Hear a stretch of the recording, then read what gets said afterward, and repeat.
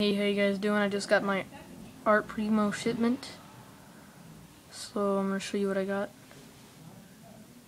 We got the uh, Smash Ink Gold Digger. Big Squeeze. Two Soul Tips. Uh, Soul Tip ink. Uh, it's a tiny little Soul Tip.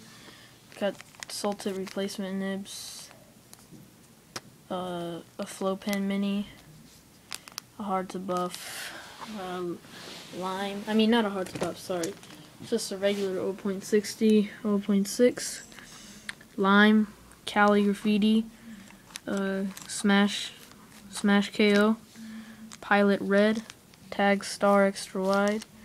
Then I got a whole bunch of these.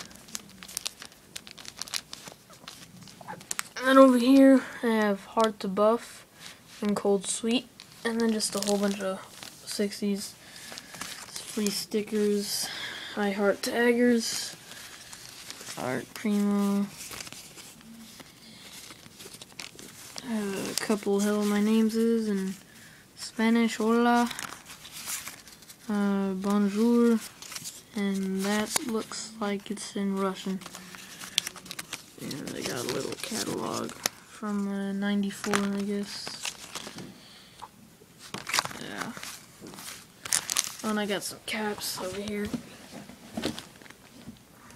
I got like German outliners and stuff. Just all those. Yeah. But thanks for uh, watching.